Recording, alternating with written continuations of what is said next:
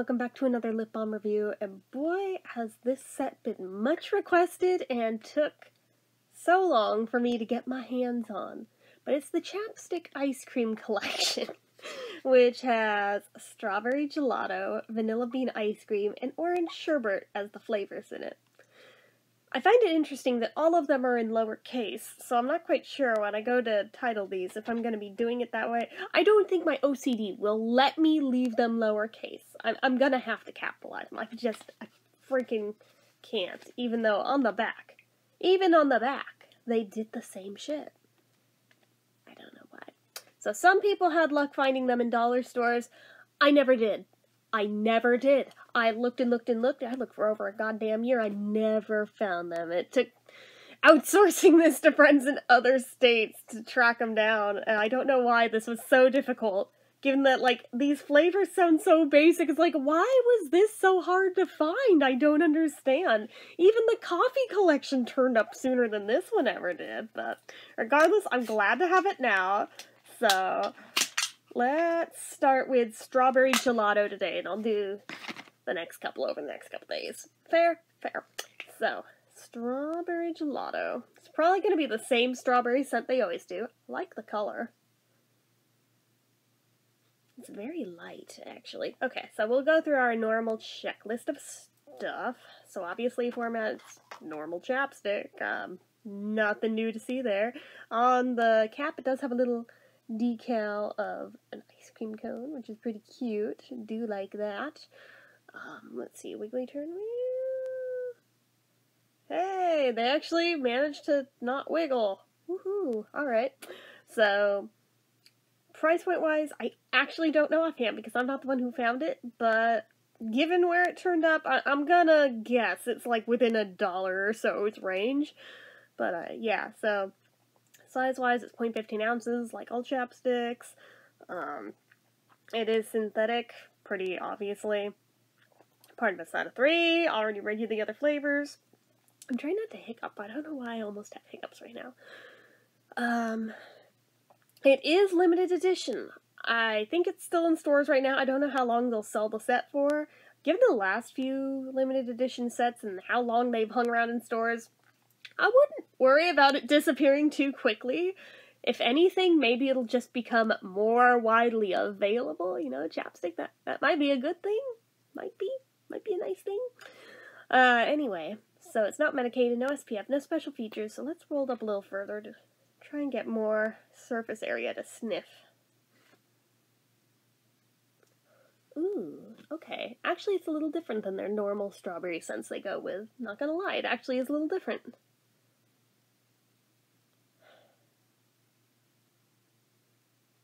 You know what it reminds me of? And it's ridiculous that it reminds me of another lip balm more than anything. Do you guys remember years ago when Revo was still a thing and they did that Valentine's Day collection?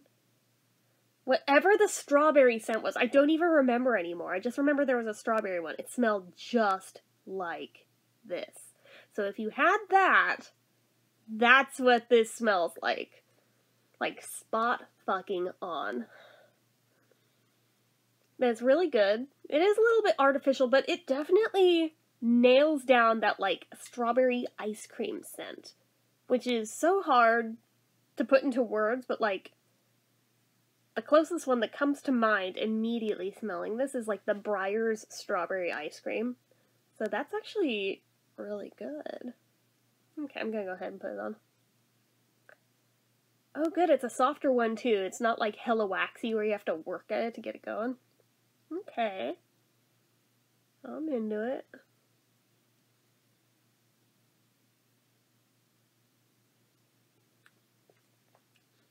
You do smell it on your lips once it's on.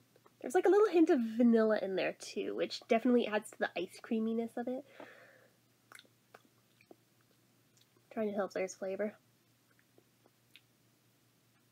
It may be psychosomatic. I don't know that this one has flavor per se, but it's definitely scented. So, thickness wise, it's a medium, and consistency wise, is very creamy, very smooth. It's a pretty rich feeling one. Not really tacky, which is surprising for a run-of-the-mill chapstick. Usually there's a bit of tackiness there. I'm not getting that off of this one, actually, which is nice. Yeah, this actually feels really good. now I see why you guys have requested me to review this one for so long. This one's actually pretty darn good. So, oops, knocking stuff off the edge of the table. Um, it's hard to say if this is more of one that would moisturize or just protect and hold moisture in. It's kind of bordering both, which doesn't happen too often in the main chapstick line. Usually you get that in like the total hydration. So that's kind of cool to see in like a normal ass chapstick. Let's go ahead. Actually, first, let's see. Ooh, it does have some shine to it. I'm here for it. Alright, now we can do the drink test.